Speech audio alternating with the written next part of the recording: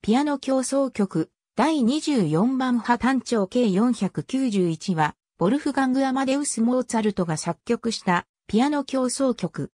モーツァルトのピアノ競争曲の中で、単調の作品はこの曲と第20番に単調計466だけである。モーツァルト自身の作品目録によれば、1786年3月24日に作曲された。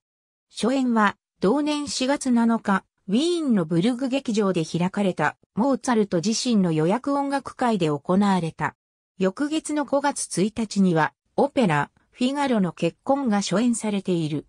多くの人がイメージするようなモーツァルトらしい明るい曲ではなく、暗く情熱的な作品であり、二単調のピアノ競争曲とは違い唯一単調で、始まり単調で終わる構成となっている。しばしば、ベートーベン的な作品と言われる。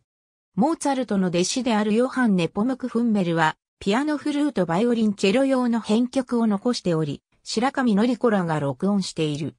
独奏ピアノ、フルート、オーボエに、クラリネットに、ファゴットに、ホルンに、トランペットに、ティンパに、言語部、モーツァルトのピアノ競争曲の中で最大の編成である。オーボエとクラリネットの両方を採用している。木管楽器が活躍する場面の多い曲になっている。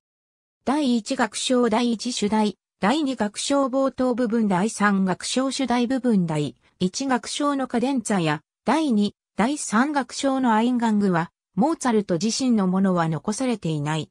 その他にもピアノのパートを完成させていない部分がいくつかある。これらはモーツァルト自身が演奏会で即興演奏した部分と思われる。アインシュタイン。ありがとうございます。